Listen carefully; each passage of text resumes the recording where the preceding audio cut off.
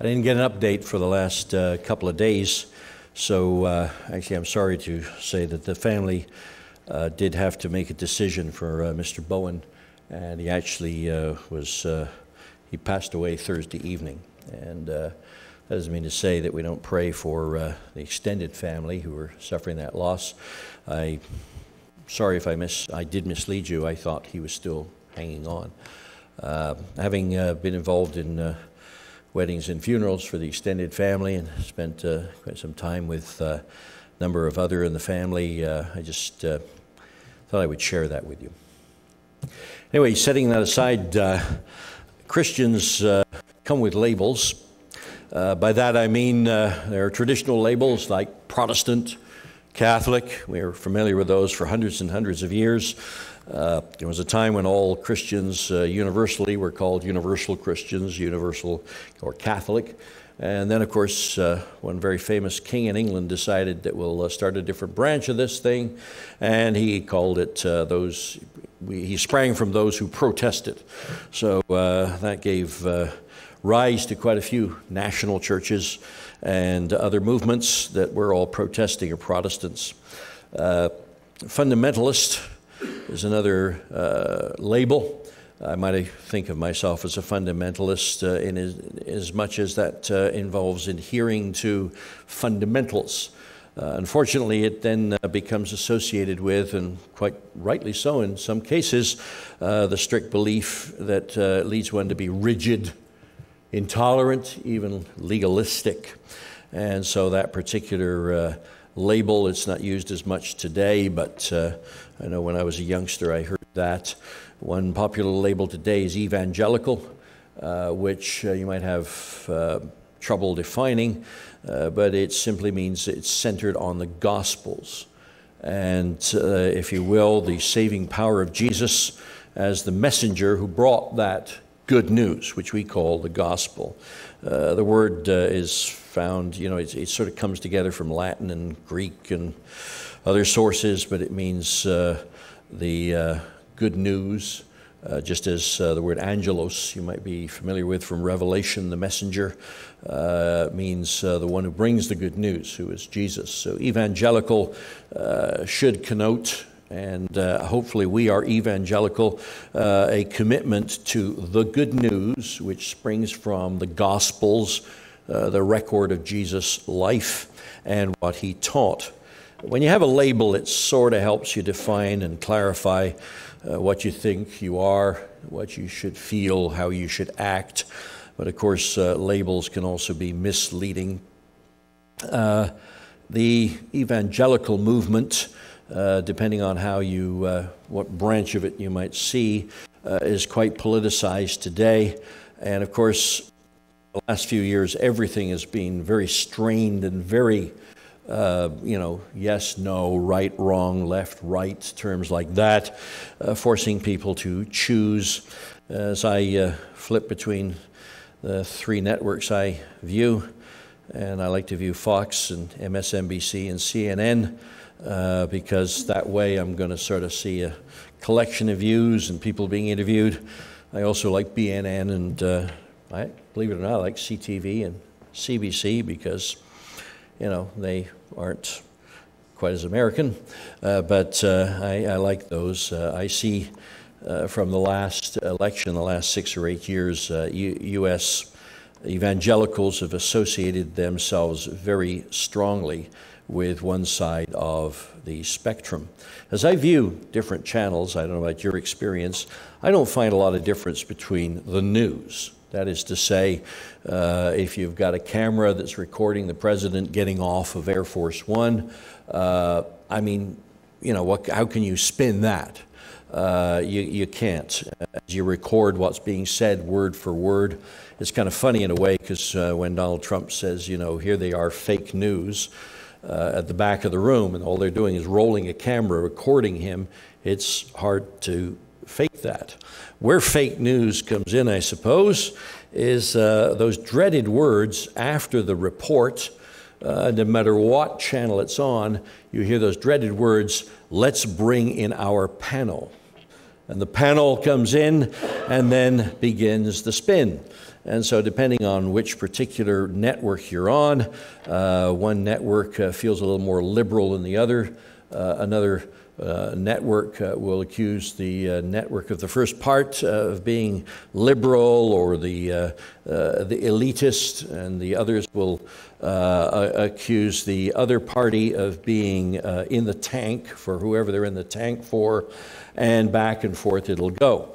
And so it is the not the uh, the honest reporter who said this just happened and this is what uh, the uh, spokesman just said, or this is what the president just tweeted, uh, or this is what Mr. Trudeau just did or said. Uh, what happens is when you get the analyst who comes in, as I said, that's why you dread those words. Let's bring in our panel. And uh, they begin then to spin and uh, create the narrative or to try to debunk the narrative that perhaps they feel is being presented to them. Um, there's been a lot of uh, pushback, of course, depending on uh, which particular uh, group you may be uh, observing. Um, certainly, I've seen some evangelicals who have been extremely agitated and uh, will uh, side with a candidate who perhaps may be a complete and total hypocrite because they feel he will, in some way or other, roll back uh, access to abortion, let's say. One particular candidate uh, who was running, and that was one of his big planks in his platform, of course, had to drop out of the political race because his mistress uh, went ahead and then published his rather uh, abusive uh, texts to her saying uh, you should take care of this pregnancy by getting an abortion. And of course, here he was uh, standing before evangelical Christians who were prepared to throw their support behind him uh, and appealing to them to get elected uh, on the basis of, I will deal with this and I will see laws changed and I will advocate for this, that, or the other thing. Uh, other issues, and uh, you can understand why some people are extremely sensitive about it.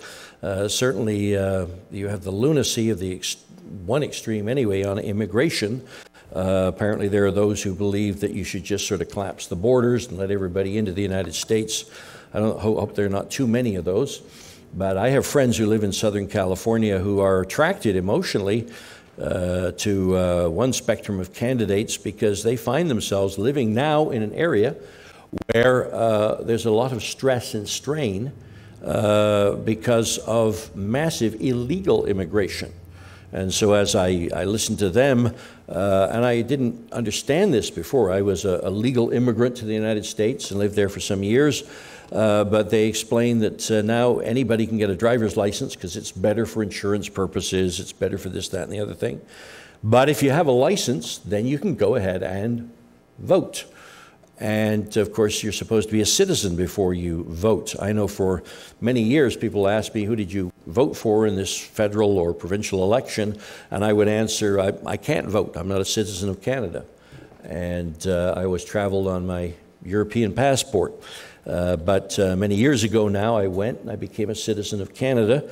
And uh, uh, now I travel on a blue passport.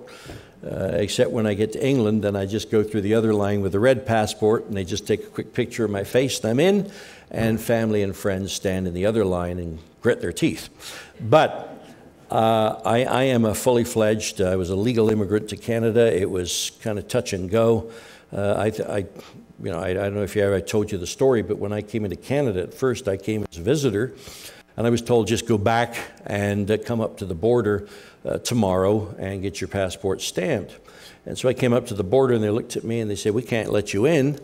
And I was flabbergasted. And I said, Well, well, I didn't say this out loud, but I'm thinking, Oh, my clothes are in Burnaby. I've rented this little bachelor suite. I have a bank account. I am employed in Canada, and you see, I can't come in. I said, Well, okay, how long is it going to take? And they said, Well, you need to apply through Ottawa. I said, Well, how long will that take? They said, Six months. Huh? Okay, so I backed out peacefully without stirring anything up, and I went over to Blaine, which was the other crossing where commercial trucks traveled through, and I said, Hi, just visiting Canada. Drove in, and then I went and told my uh, boss, uh, Mr. Wilson, I'm in deep trouble here. I, apparently, I can't come in. Hey, don't worry. Just, just go down to Bellingham, stay there, and we'll have responsibilities and work we'll assign you. And so I lived in Bellingham for a couple of weeks, and every day I came to the border. Uh, or I phoned, and nobody would touch me. And one day I came to the border, and in, my prayers were answered. I met a man who thought through a little bit, and he said, Well, we could have kind of let you in on a temporary visa. He said, and uh, he used the term a ministerial permit. By that, he meant uh, the Minister of Immigration. And he said, This is the sort of permit that we use for journalists and circus performers. Welcome to Canada. And literally on that basis, I came in because I thought they thought I was a little bit of a clown. And after that, I married a Canadian. And after that, there was an amnesty. And after that, I got a pink piece of paper, and I was told, never lose this pink piece of paper. To this day, I have a photocopy of it, uh, just in case anything is challenged. But uh, uh, I, I, had that stapled in my European passport for years. And every time I came, they look at me, oh, okay, okay. And they would give me the twice over. And uh, my wife and kids, they'd come in because they were legal Canadian citizens, and I'd be held up for a few moments as they double checked me. So I understand a little bit about immigration, and of course, being involved with folks coming to Canada. Uh, from uh, Africa, especially, I'm very aware that there are lots of rules and regulations. So, if I was living in Southern California and I heard about the illegal immigration and I witnessed it and I saw the stress on schools and I was, I, again, my own friends who live in Southern California, I asked, uh, what do you do for health insurance? And uh, one of them said, I, am partly covered by my wife. Uh, well, okay. Uh, so you have to get some supplemental. He said, yeah, I have to get some supplemental health insurance. It costs me $1,200 a month. oh, wow. That, that, you could buy a house for $1,200 a month. I know Ross Judson, who was here a while ago, I asked him, well, what do you, you and Tammy do? And he said, oh, we, we, we pay about, uh, it's only $800 a month. But the deductible is $10,000. So in other words, if you have, you, you know, you need a wart taken off or you need something, you, you say, you pay the first $10,000? And having gone through, you know, uh, critical illness with my family and uh, myself, I've been in emergency a couple of times in the last few years. Um, you know, that's incredible to me. Uh, and so you could understand the political sensitivities as people are running for office and perhaps uh, making uh, uh, payment, you know, claims. And I, I, was talking again to one of my friends from Southern California. I won't, I won't name him, but he's kind of, you know, he, he's kind of a little bit, he said it was, he was hoping for better things under this president, and he feels doing better. Of course, the economy is doing better than under the last president. And uh, he, uh, he talked about, but I just wish he wouldn't tweet so much. And then he expressed her frustration of, with the last administration. But after a few moments, he said, Ah, I get so frustrated. They all lie. They all lie which you might say is an over the top exaggeration, but actually, you know, if you uh, include gross exaggerations, yeah, you know, it's kind of kind of tough to not conclude. I know as I listened to the last president say, you know, our, our, our, our annual deficits are coming way, way, way down, and this is so good. And in the back of my mind, I'm thinking, yeah, but the debt, the accumulated debt for the United States is, is, has almost doubled in the last eight years. That can't be good. That cannot be good. Sooner or later, the kids or the grandkids are going to have to pay this in some way. And so, choosing to neglect certain things, you know, there are lies of omission. You know, just as uh, somebody might protest if you elect me, well, you'll have much better health insurance. You'll have much better health insurance, and the premiums will be a fraction of what you pay now. How can you pull that off? But of course, nobody's been able to pull that off. It just doesn't make any sense. Um, you know, I, I, look at this latest controversy. Um, you know, the president has the authority to pull um, clearances. And you'd think that he'd absolutely uh, tarred and feathered some guy because, no, we're not going to give you a security clearance any longer. Uh, now, being a Canadian, I can judge this from afar. I thought, well, you know, like, okay, I guess there's something to it. But you know something? About a million people, I understand now, have security clearances.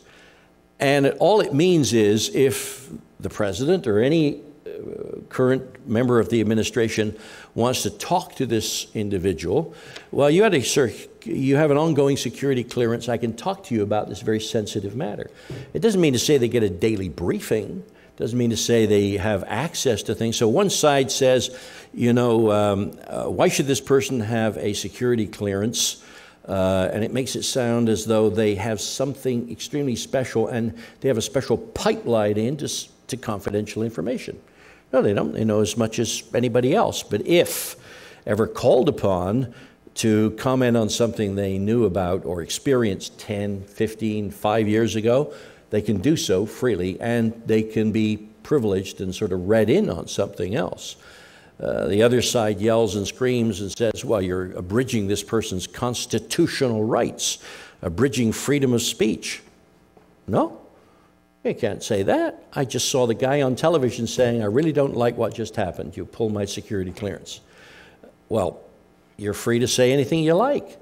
It's just that you can no longer say, well, I have, I have security clearance because the individuals who administer that take, took it away. So, you know, it depends on who's spinning it one way or spinning it the other. And when you finally get down and say, well, what does this really mean? And maybe if you're lucky, you'll find one person when they bring in the panel to actually explain it and say, this is what it means. That's why I like guys like uh, Judge Napolitano because he just gives a simple, direct, this is what the law says, and this is what the possibility are. That, that's why I like Alan Dershowitz, uh, because he's a professor of law, and uh, he said, well, these are things are political, but this is the law, and this is where it's heading because of these things. So, anyway, that's just my personal opinion, which I'm sure all of you will be swayed by. Oh, okay, I forgot you're all Albertans. you don't care what I think. But this is the world that we live in. Uh, this is the soup that we swim in. And its morality, its ethics, its stupidity influences and affects us all. And uh, as, as I look at that and as I think about that, and as I, you know, as I said, I dial between channels and try to figure out, okay, what's really happening? Okay, you're saying this, you're saying this, you're, oh, hey, Here's a clear analysis from a lawyer who hopefully is above all of this and is, uh, you know, a judge who's above all of this uh, and, and, and pretends to be. You know, he's not advocating for anything. He's just saying, this is what the law says, and this is the these are the facts. When it comes to relating to this crazy, ongoing society, um, I, uh, I, am drawn back to, to Paul's world because the advice he gives or the direction he gives is still very, very relevant. As an evangelical Christian, one who believes in the good news of the gospel message, how do I exist in this polarized world that wants to drag me one way or drag me the other way? Get me to support one individual and curse the other one. Uh, in 1 Corinthians 5 and verse 9, Paul is dealing with uh, a problem. Uh, the presenting problem is an individual who is in, conducting himself in an immoral way. And this is acceptable to the world in which he lives, apparently, uh, or at least tolerable. But he explains that, look, there are, this is something that should be addressed from a Christian perspective. And then he goes ahead and talks about it. Now remember, Paul is writing to Corinth, and he used to live in Corinth. And when he lived in Corinth, he was very aware of the fact that uh, Corinth was, uh, well, it depends on who you listen to, okay? Uh, the, the, uh, the verb to Corinthianize. Um, I've heard it explained by an English uh, uh, professor who said that to Corinthianize simply means to prostitute oneself. Or, a Greek scholar once explained, if you consider this, you will learn that uh, to Corinthianize means to live well. And I tried to understand that. And I think it came to some extent from the, uh, we might use the expression today, what happens in Vegas stays in Vegas. You know that idea? That here is a place where you go and you live it up. Uh, but, you know, you push the boundaries, there, there are no real restraints. Uh, Nevada's known for that, Las Vegas is known for that. What happens in Vegas stays in Vegas. And so you might say to Corinthianize, okay, on the one hand, you could say it's like, well, it's that type of world. Uh, on the other hand, you could say what it means to prostitute oneself.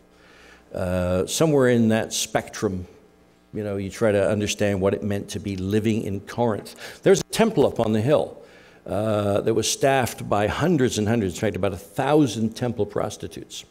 And the prevailing Greek view uh, if you will, was what happened in the body was of no consequence to the spirit, the real you, which is why you will read things uh, coming from Paul uh, like um, body, soul, and spirit. In other words, the, the entire individual. Uh, which is why you will read things in 1 Corinthians about the future for a Christian is to have the mortal changed to immortality. In other words, your body will be transformed and glorified, uh, which was not something Greeks naturally looked for. Uh, they thought if you could be liberated from the body, then you really had achieved something. And so you understand that, that here we are talking to a group of people who live in a society, in a city that, whose name means at the very least to not have any real restraints upon you. And remember, it's a port city. And port cities are kind of famous for, you know, whatever. Uh, everything goes in a port city. And so Paul actually had moved from Athens and settled in Corinth so that he could very specifically influence the people who traveled through. And of course, if you infect, in quotes, one person with a Christian message and they travel on to another location, it's kind of a mini Pentecost experience. Uh, the Jews in Jerusalem were, quote, infected by the good news of the gospel. They went back around the world and they, in turn, shared that in their synagogues. So, with that little bit of background, Paul, now writing to the, the church at Corinth, said, I wrote to you in my letter not to associate with sexually immoral people. Not at all meaning the people of this world who are immoral, or the greedy and swindlers or idolaters in that case, you'd have to leave this world. Oh, okay. So you are recognizing that the world is a place that is, well, not exactly God's world. And in fact, uh, in Galatians chapter 1 and verse 3, where Paul is introducing himself, if you will, to the churches that he writes to, he says to them, Grace and peace to you from God our Father and Lord Jesus Christ, who gave himself for our sins. What? to rescue us from the present evil age. Uh, that word uh, age, uh, you know, is translated in the King James world, aeon. Uh, the, the, the, this, this present evil setup, if you will. Uh, a world in which everybody is uh, okay, there are many good things that happen in this world. Let's not get too negative here, but it is a world that results from the action of doing what? Taking from the tree of knowledge of good and evil.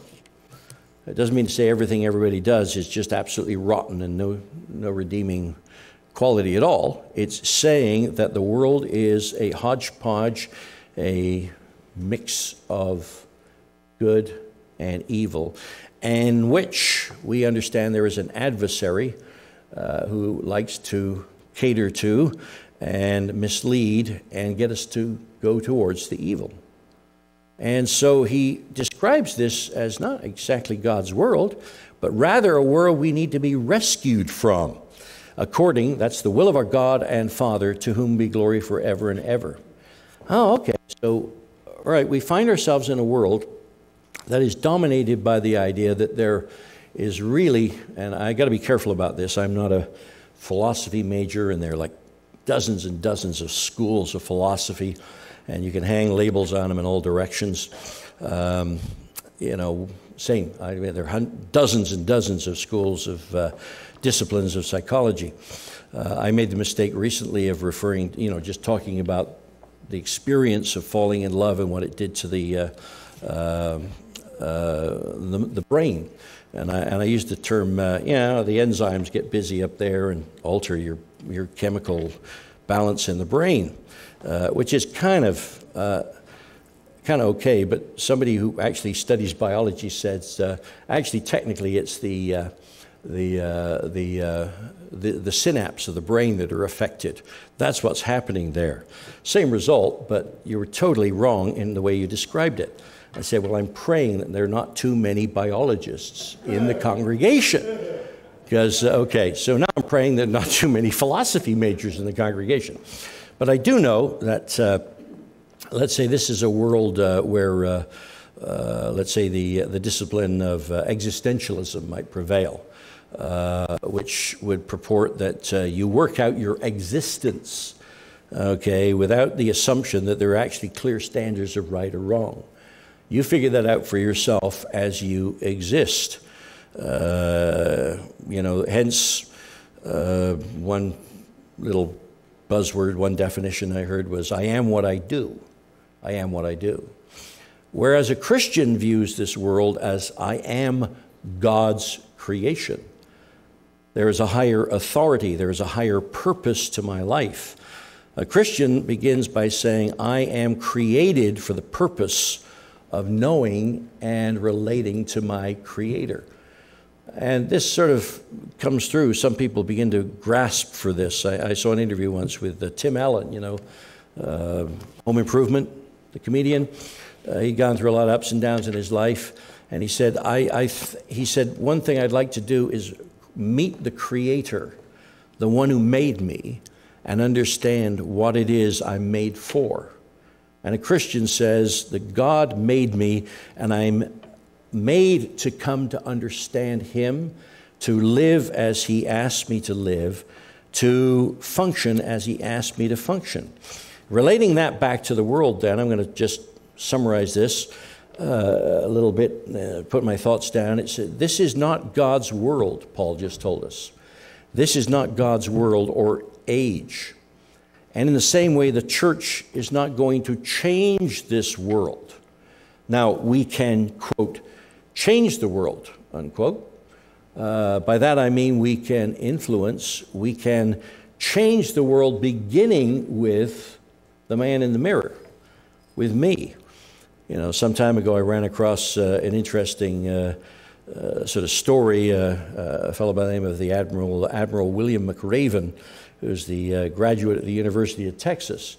And they invited him back now as a, a very dignified individual, a very uh, well respected military leader. And he talked about graduating from the University of Texas and being, he couldn't remember what the, uh, the uh, graduating uh, speaker uh, had, uh, had to say. But he said, You all want to change the world. He said, I'm going to tell you how to change the world. When you get up in the morning, make your bed. That's where, that's where he started. And he talked about the influence that the, you could have one on one with someone else. And he talked about his experience and how he learned that was through becoming a Navy SEAL. You know, uh, the day that he uh, graduated, he said he was commissioned as a, a, military officer and he went off for SEAL training.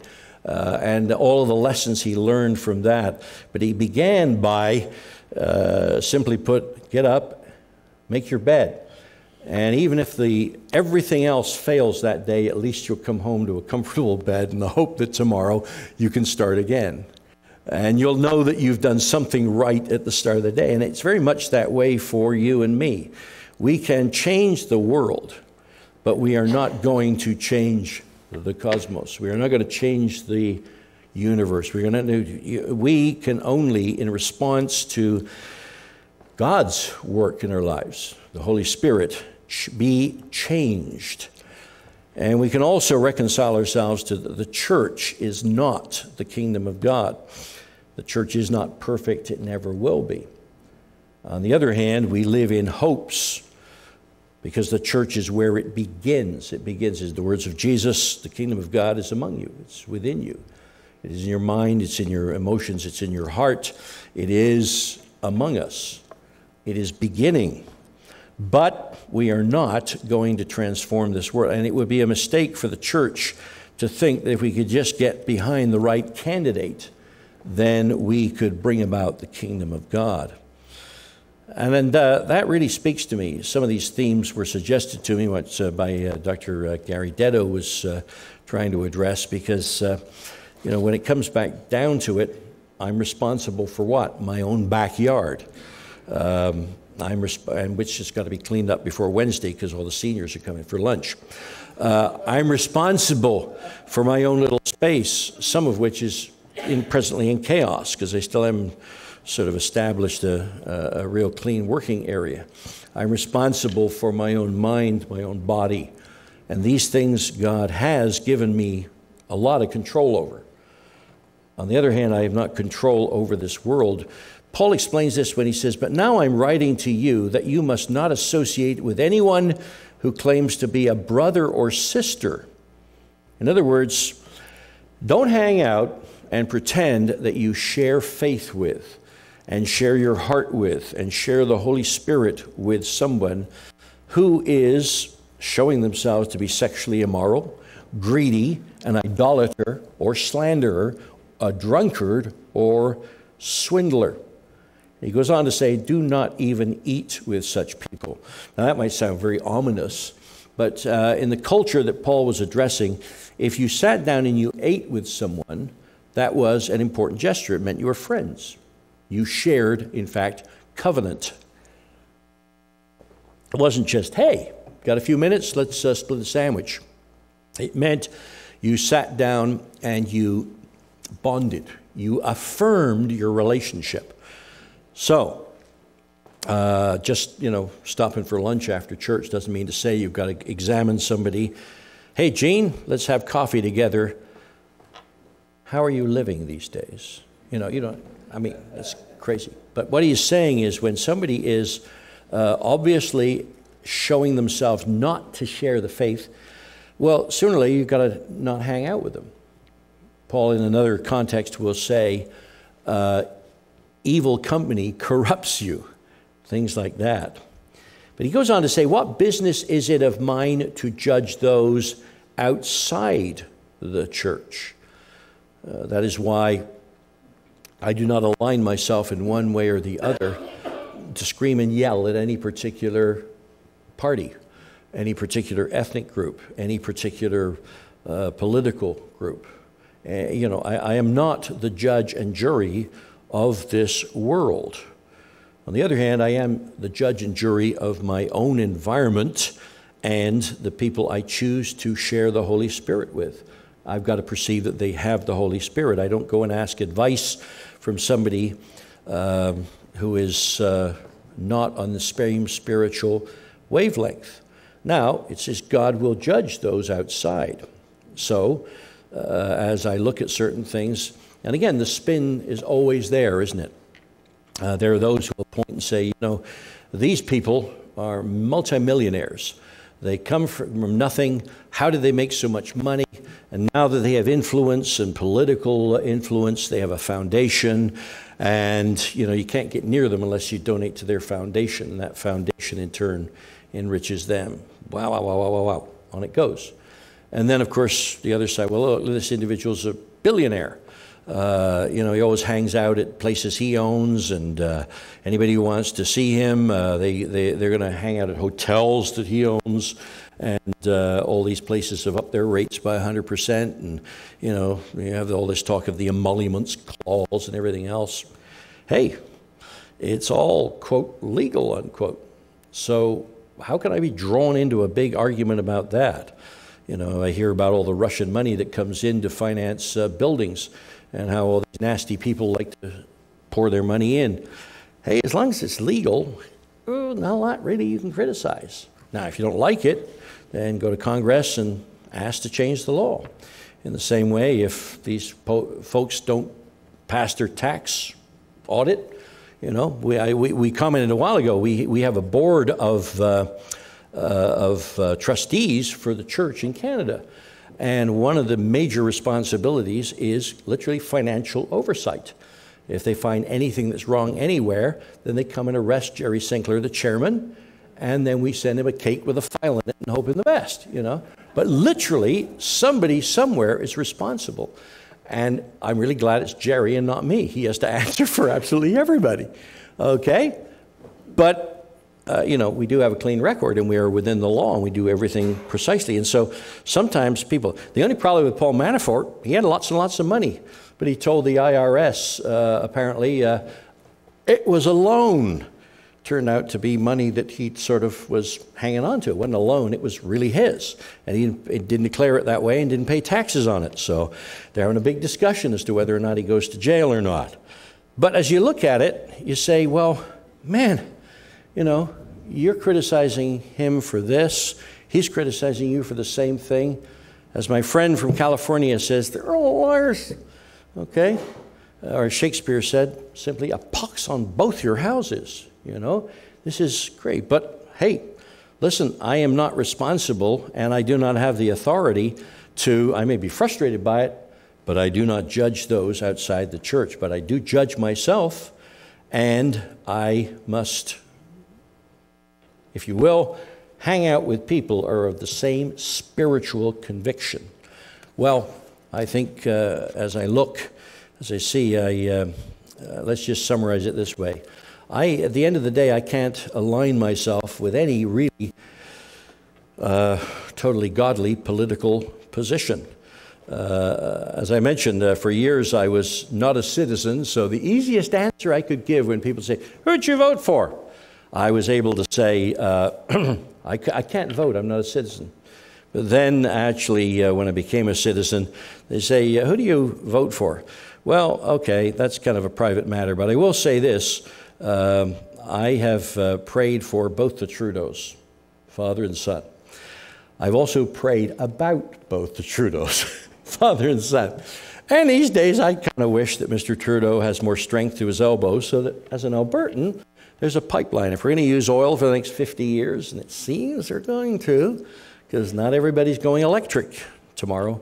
And if we're going to be having a world that uses some oil, well, I'd kind of like there to be a pipeline. My granddaughter lives in BC. Well, she did up until yesterday. She just flew to Poland yesterday. So she's living in Poland for a year. When she comes back, we'll see how much she appreciates Canada. But anyway, my little granddaughter and I said, So I'm an Albertan, Zara. What do you think of Alberta? Well, and then comes the spin that she's learned. All right? And so we have this nice, quiet family debate on why pipelines are not the most evil thing in the world. And that is a political matter. So uh, you say, do you pray for those who have sway because you recognize that God allows people to be appointed? And the answer is yes. But do I hold myself in a different world? Absolutely. And do I hope for a better one? You bet I do. Let's pray. Our Father in heaven, we thank you today that we can enjoy the freedom and liberty as Canadians, and we can enjoy all sorts of privileges because you allow us to live in a pretty wonderful country. On the other hand, uh, we also uh, watch the news. There's turmoil, there's conflict, people yelling at each other. Uh, even some of those major problems in the uh, United States with immigration and all sorts of other stresses we're starting to feel those in so, to some extent in Canada as well. And so we ask, as uh, your church, that we could simply be the beacon of light that you ask us to be, that our own uh, determination should be that we be transformed uh, through learning to love you as our God, and also in this world to love our neighbor as ourselves. And so we thank you for your blessings, your protection, your privilege. And we do ask that you'd uh, journey with us this coming week and that we be the light that you intend us to be. We thank you in Jesus' name. Amen.